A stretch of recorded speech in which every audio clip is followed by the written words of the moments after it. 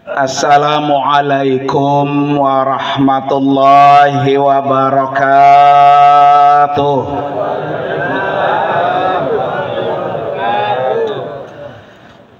Bismillahirrahmanirrahim. Alhamdulillah. Alhamdulillahilladzi khalaqal mauta والحياة ليبلوكم أيكم أحسن عملا. أشهد أن لا إله إلا الله وحده لا شريك له. وأشهد أن سيدنا ونبينا محمدا عبده ورسوله لا نبي ولا رسول بعده. اللهم فصل وسلم وبارك على سيدنا محمد وعلى آله وأصحابه أجمعين. أما بعد حضرات المكرمين والمكرمات para asatidah para orang tua. Wabil khusus yang sama-sama kita hormati dan kita doakan. Keluarga besar almarhum Bapak Bapak Abdurrahman bin Bapak Haji Jayadi dalam hal ini tadi salah satu putra beliau yaitu Ustadz Bapak Edi Sugandi. Kita doakan keluarga yang ditinggal, kita doakan almarhum. Allah terima amal ibadahnya, Allah ampuni dosa-dosanya, dan Allah tempatkan kuburnya raudhah min riyadil jannah istri dan anak-anak beliau senantiasa dilindungi dibimbing oleh Allah Subhanahu wa taala. Yang juga sama-sama kita hormati guru kita Al Mukarram Bapak Ustadz Haji M. Khatib. Dan juga orang tua kita Bapak Haji Abdul Rauf kemudian ketua Masjid Jami Ar-Rahmah Bapak Abdul Maid dan juga para pengurusnya. Apalagi baru Pak ya? Nah, kita doain nah, biar Allah kasih semangat ya biar bermanfaat buat umat kemudian juga yang sama-sama kita hormati senior kita yaitu Ustadz Muhammad Mardiono. Alhamdulillah nih beliau hadir dan jadi warga Ar-Rahmah ini. Ya belum tasakuran belum? Belum. Karena ketuanya belum tahu ya belum lapor juga. Kemudian juga yang saya hormati di ujung sana ada Bapak Ketua Musolah Nurul Falah selaku salah satu cicit ya dari Engkong Gudang dan sebagai ketua panitia haul yang abadi nah, hadir beliau no. yaitu Ustadz Haji Imam Rusdi Kemudian juga para bapak hadirin dan hadirat sekalian, mohon maaf tidak saya sebutkan satu-satu, namun tidak sedikit pun mengurangi rasa takzim dan hormat saya kepada beliau-beliau semua. Para bapak hadirin sekalian, jamaah majelis tahlil yang dimuliakan oleh Allah Subhanahu wa taala. Malam ini kita sama-sama diberikan nasihat oleh almarhum Bapak Abdurrahman Nasihatnya adalah nasihat kematian, Pak. Karena yang namanya orang hidup pasti apa? Nah, pasti mati. Dan mati itu tidak pandang bulu. Yang sehat juga apa? Mati. Yang sakit-sakitan, hmm, apalagi Pak ya? Yang tua, yang muda, yang miskin, yang kaya, semuanya apa? Mati. Cuma kita nggak tahu kapan kita mati. Nah, tadi almarhum oh, udah tahu tuh pak. Tiga apa? Tiga tahun. Tiga tahun gua mati. Nah, kalau udah tahu kan enak pak nyiapin ya. Nah ini karena belum tahu kita. Maka kadang-kadang pak ada orang yang takut mati. Ya, kenapa takut mati? Karena terlalu banyak apa? Nah, dosa yang kita punya. Para bapak hadirin sekalian, almarhum Bapak Abdurrahman ini di ujung ajalnya Pak. Ya dan tadi sudah ceritain kita nggak ada yang nggak kenal dengan Bapak Dolang Pak ya. Sepak terjangnya pergaulannya Pak ya. Tapi ternyata Allah sayang Pak. Ya sayang dikasih sakit selama tiga tahun. Ya dikasih sakit selama tiga tahun itu karena Allah sayang. Biar apa pak biar dikasih husnul khotimah iya dikasih husnul khotimah coba kalau matinya nggak sakit ya masih ngaprak ke mana-mana pak ya nah, tapi karena sakit ditarik oleh Allah diam di rumah Ya, kita sama Pak. Kalau sakit juga yang kita pegang apa? Tasbih banyak. Istighfar, tasbih, ibadah. Karena orang sakit dekat sama apa tuh? Sama mati. Nah, ditarik nih sama Allah. Diam di rumah. Tiga tahun, Pak.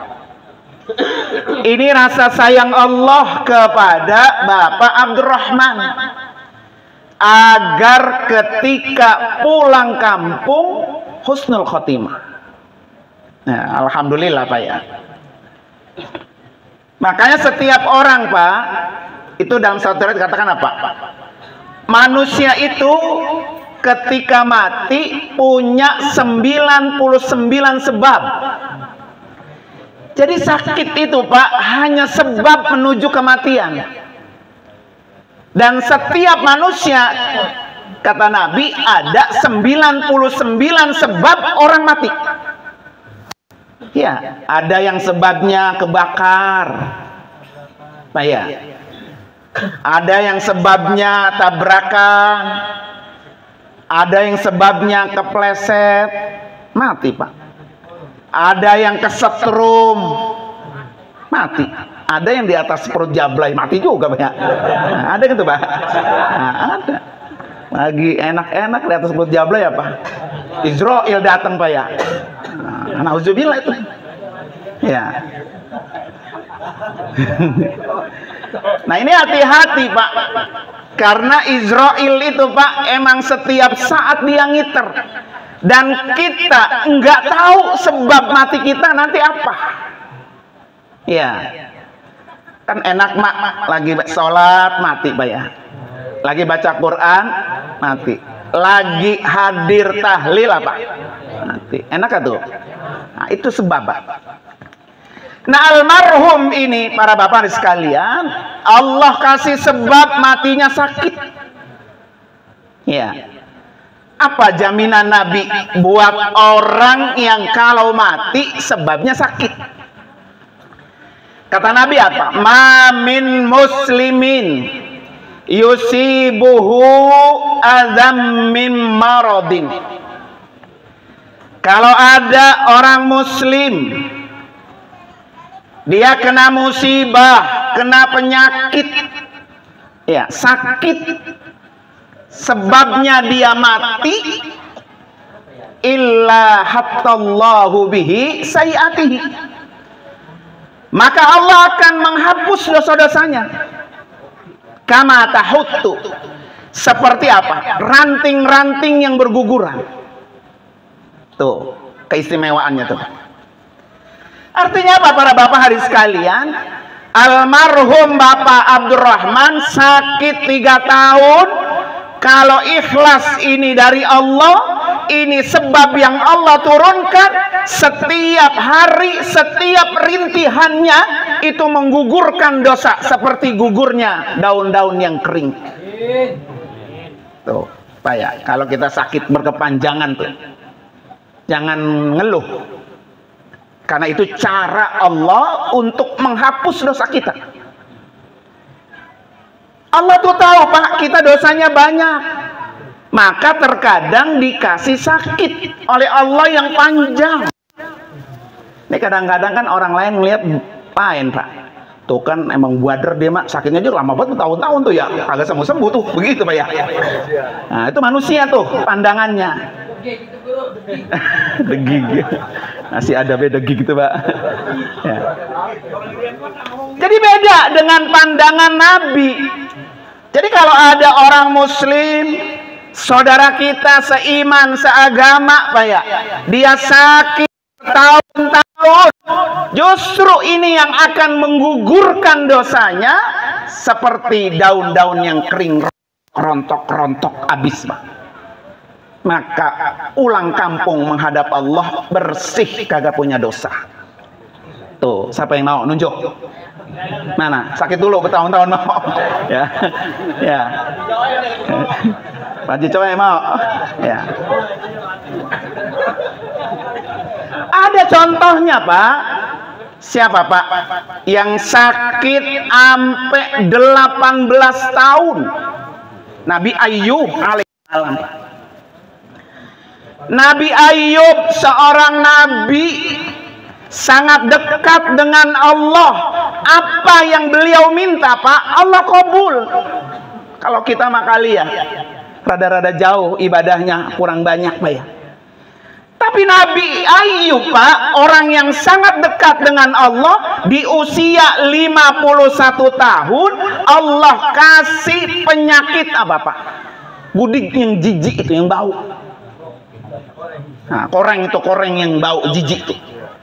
Borok sampai diasingkan, sampai bikin rumah di bawah tanah, Pak, supaya baunya itu tidak meluap ke mana-mana. 18 tahun. Kalau almarhum 3 tahun, kecil apa kecil tuh? Kecil. Ya. Itu nabi, Pak, nabi. Apalagi kita. Artinya para bapak hari sekalian, ya putra putrinya istrinya apa ya? Emang diuji tuh. Kira-kira ngerawatin suami ngerawatin orang tua tiga tahun sakit pada sabar apa kagak? Gitu pak ya. Kadang-kadang kan ada orang pak. Eta yakin nenek-nenek sakit lambat kapan matinya sih tuh ya? Gitu pak ya. Dia udah bosan ngurusin pak ya. Apalagi kalau mandi di situ nyebokin di situ makan di situ pak ya anak pada berkia-kia tuh. Ya Pak ya. Padahal di situ kunci surga buat siapa? Buat anak Pak. Makanya kata Nabi apa? Rogima anfu, rogima anfu, rogima anfu. Kamu itu celaka, celaka besar, celaka besar kata Nabi. Siapa yang celaka ya Rasulullah?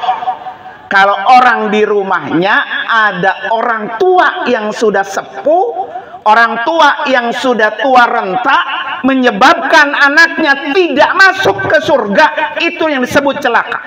Rugi besar. Maka beruntung buat kita yang di rumah kita ada orang tua kita.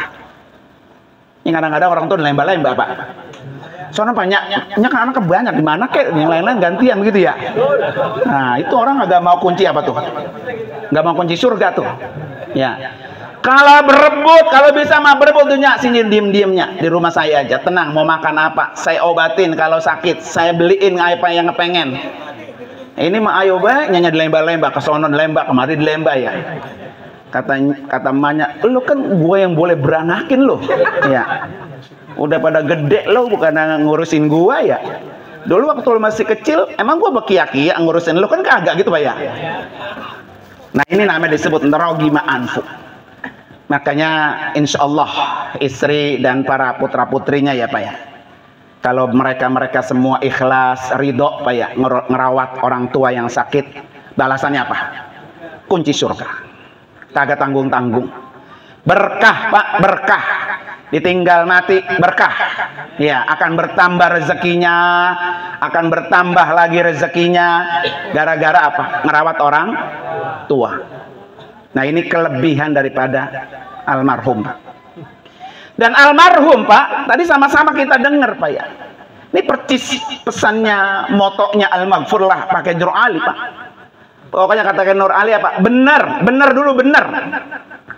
Ampe ditawarin Pak Jero, Pak. Demi iman, demi Islam, demi agama yang dia anut, nggak bergeming, Pak. Ya, nggak bergeming. Makanya orang itu kudu bener dulu. Ya, baru yang kedua apa tuh? Pinter. Kadang kan orang pinter mah kalau nggak bener pak, lah mau halal kek, mau haram kek, lah mau jatah gua ini ya, caplok aja udah begitu ya. Nah. Emang ada di sini Pak Haji. Nah, yang main asal nyaplok aja. Daging korban motong, umpetin ke belakang gitu. ya. Nah itu berarti kagak bener dulu itu. Pinter doang adanya pinter. Pinter ngapain? Pinter ngumpetin daging korban ya. Bener. Nah para bapak sekalian, itu maka pentingnya orang itu harus benar, kemudian baru pinter, kemudian baru terampil. Tadi tuh yang pesan almarhum tuh. Pokoknya lo apa tuh? Berdiri diri sendiri tuh. Dan itu memang yang diajarkan Islam, Pak.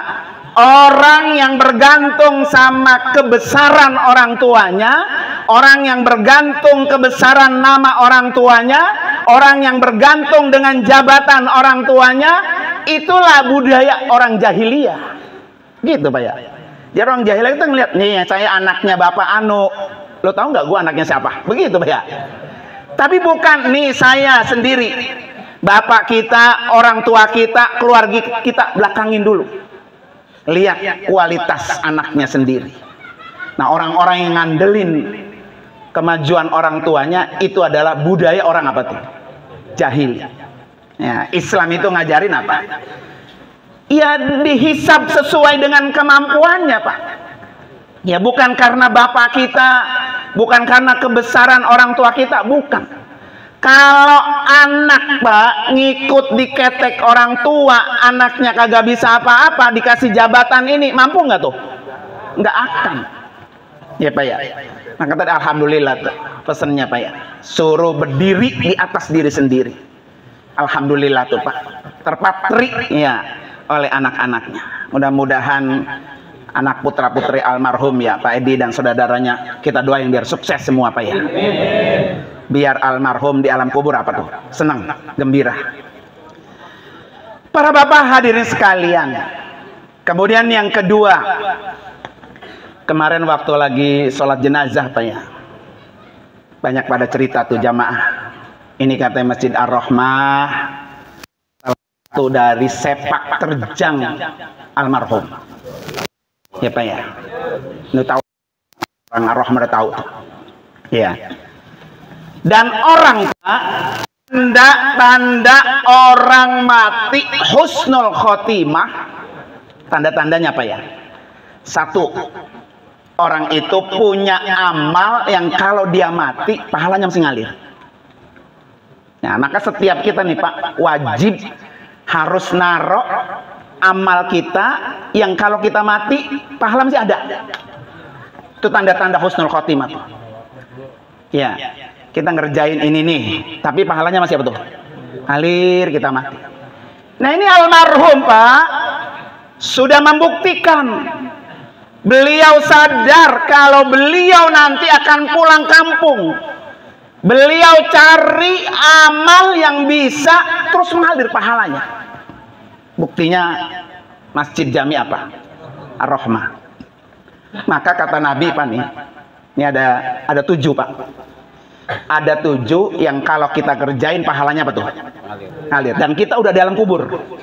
Ini dari tujuh ini kira-kira Bapak ada yang mana nih? Ya. Jadi ada tujuh amalan yang kalau kita kerjakan dan kita ada di alam kubur pahalanya ngalir. Satu, man allama ilman. Orang yang jadi guru. Orang yang ngajar.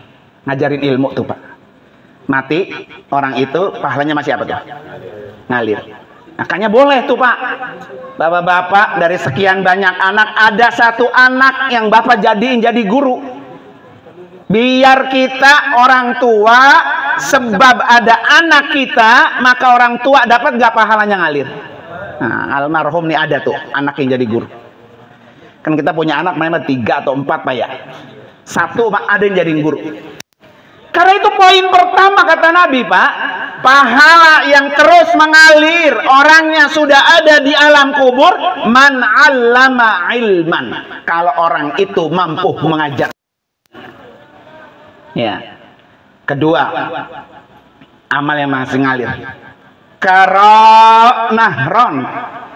Orang yang bisa menggali sungai, menggali parit, menggali solokan, ngelebarin solokan. Nah, solokan ini kayak kecil-kecil tuh, Pak. Ya. Karena kan begitu, Pak. Pokoknya itu got, solokan, kalau belum kecil masih dibangun sama apa tuh? Pondasi, Pak ya, sama jaro. Malah kata Nabi apa? Karena ron orang yang bisa melebarkan kali, melebarkan kalenan, melebarkan solokan, orangnya mati, air itu mengalir, sama mengalir pahalanya.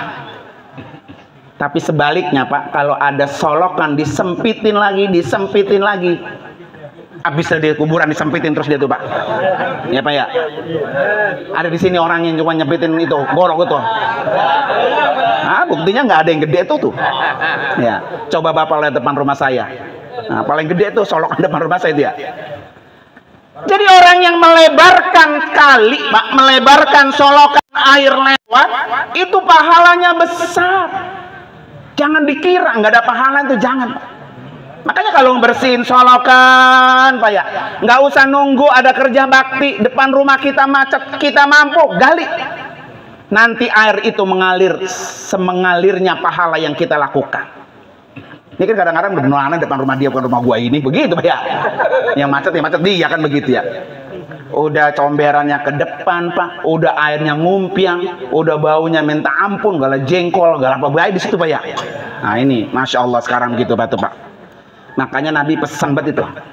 Kalau pengen pahalanya mengalir, yang nomor dua karonahron harus bisa melebarkan apa tuh solokan. Ya. Yang ketiga kata Nabi apa? Gorosa nakhla. Dia bisa menanam pohon kurma atau pohon pak yang umurnya panjang kemudian dia bisa berbuah dan buahnya dinikmati oleh orang banyak. Maka yang nanam pohon itu pahalanya apa tuh? Ngalir.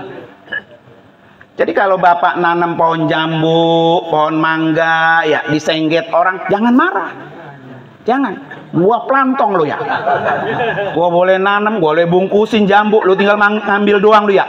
Enak banget lo begitu pak ya kalau bapak yang nanam ikhlas diambil orang. Jangankan orang pak. Codot sekalipun ya makan pohon yang kita tanam maka yang nanam dapat pahala. Ya maka jangan segan-segan. Nanam karena di mana nanamnya? Habis semua solokan semua Pak. Ya. ya. Jadi kalau kita nanam pohon jambu kek, pohon mangga kek, mau dia codot yang makan, mau dia manusia yang makan, maka yang nanam Pak pasti dapat pahala. Ini kadang-kadang pohon jambunya diambil orang marahnya minta ampun. Ya kan? Gua sumpahin lu dipasang CCTV wah si anu yang ngambil ya gitu ya padahal itu ladang apa tuh padang pahala. Makanya yang masih punya pekarangan, masih ada punya tanah, Pak ya. Tanemin pohon apa aja sambil nanam sambil niatin. Siapa yang berbuah, Pak? Siapa nanti kalau udah berbuah, siapa aja yang makan? Halal. Gitu, Pak. Ada di sini begitu. Ya. Nah, makanya kadang diajarin begitu ya, dikasih tahu. Besok jadi bapak kalau mau datang ke rumah saya, mau ngambil jambunya kayak, mau ngambil mangganya kayak silakan. Kalau ada, ya kalau ada gitu. Ya. Ini artinya apa tuh? Bahwa itu pesan dari Rasulullah Sallallahu Alaihi Wasallam. Yang ketiga pak, tiga keempat, keempat apa?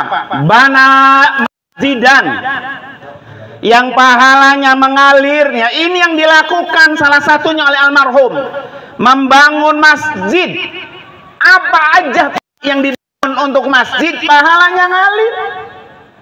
Ya bisa nyumbang kusennya bisa nyumbang keramiknya bisa nyumbang toiletnya bisa nyumbang apa tuh? E, galon airnya apa ya? Ini orang mau datang minum susah Ya, Bapak besok bawain dispenser, taruhin galon, pokoknya setiap habis Bapak isin lagi, Bapak isin lagi. Siapa aja yang minum, Pak? Masya Allah, itu pahalanya ngalir. Ya, apa lagi, Pak ya? Ini mau boro-boro dibawain gala dispenser, dispenser masjid hilang. Ya. Di boro-boro dibawain dispenser, Pak ya. Jadi orang-orang yang membangun masjid, nah ini pelajaran yang disampaikan oleh almarhum bahwa beliau sudah pulang kampung, ada di alam kubur, pahalanya itu sampai mengalir. Ini luar biasa, Pak.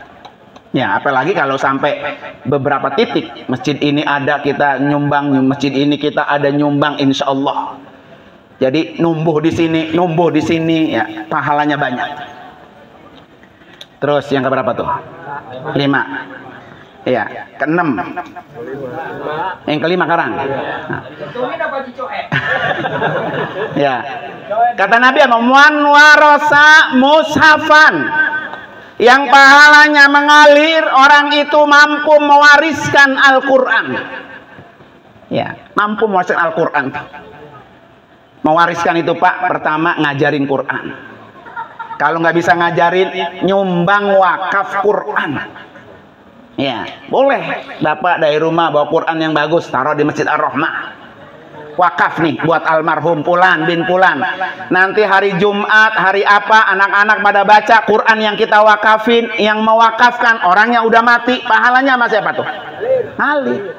Jangan masuk masjid hari Jumat nyet Quran bagus di apa? Bawa pulang, bukan malah nyumbang, malah bawa Quran yang ada di mana tuh? Di masjid. Jadi orang-orang yang bisa mewariskan Al-Quran, itulah yang bisa mengalir pahalanya. Maka nanti Pak Edi boleh tuh. Mau seminggu sekali, mau sebulan sekali beli Quran atu, taruh di masjid ini atu, wakaf buat almarhum.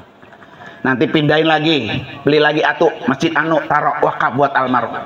Nanti kapan sebulan lagi beli atau lagi Quran, taruh di masjid anu, wakaf buat almarhum. Naruh aja udah Pak. Gak usah pakai bilang sama DKM. Masa diomelin kagak Pak ya? Kalau diomelin, kalau dikandut diomelin. Ya, boleh tuh. Bulan programkan wakaf Quran satu Quran satu masjid. Niatin buat almarhum.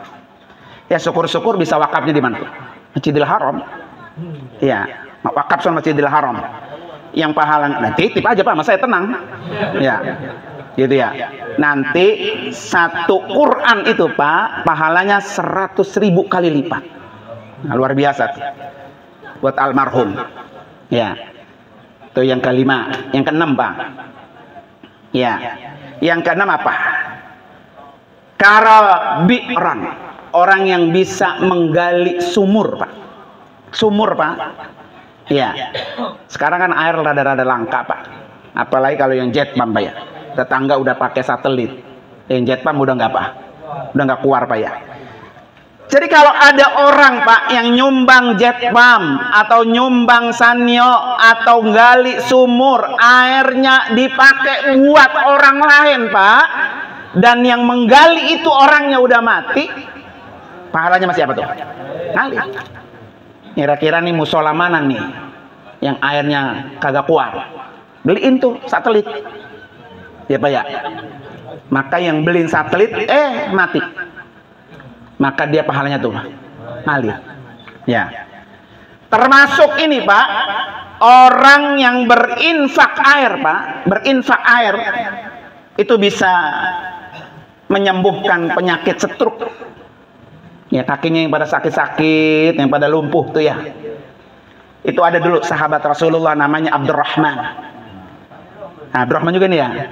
Datang ke Nabi Ya Rasulullah tolong obatin kaki saya ini. Kalau sekarang mah setruk, lumpuh dulu ya. Dia datang ke Nabi, minta diobatin. Kata Nabi apa? Sona pergi ke satu kampung yang kagak ada air, lu gali sumur, lu sedekain tuh airnya. Sembuh tuh pak. Nah sekarang kan nyari sumur susah Pak ya. Bapak kalau ke masjid bawa air satu dus. Masjid bawa air satu dus. Ke musola bawa air satu dus. Ya, sedus Bapak duit sih ya. Nanti diminum oleh orang yang datang, nah itu yang akan terus mengalir pahalanya. Ini kadang-kadang disuruh bawa air diumumin per peren. Ya, enak banget masjid ya. Nah itu yang, yang sumbangan banyak pun disebutin si Anu, si Anu, si Anu ya. Jadi kita gara suruh bawa apa? Bawa air. Padahal pahalanya buat kita, Pak. Ya kan? Makanya nah, kalau Bapak mau nyumbang tuh enakan begitu tuh. Kalau nyumbang duit kadang-kadang suka ditil sama panitia Pak ya. Nah, kalau air mah masa ditilep dia. Ya kan? Gitu. Ayo aja kasih air gitu Pak ya. Makanya kasih air tuh. Besok pokoknya kalau ada maulid, ada apa, kirim aja air. 10 eh, dos, 20 dos gitu Pak ya. Takutnya begitu doang Pak. Ya. iya, ilok air dikantongin ya. Kalau duit mah gak ketahuan dikantongin ya. Ilok kan air dari junjung-junjung ya.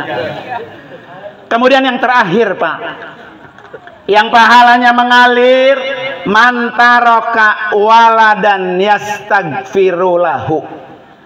Orang yang meninggalkan anak yang anaknya itu selalu beristighfar buat orang tua itu pahalanya ngalir tuh.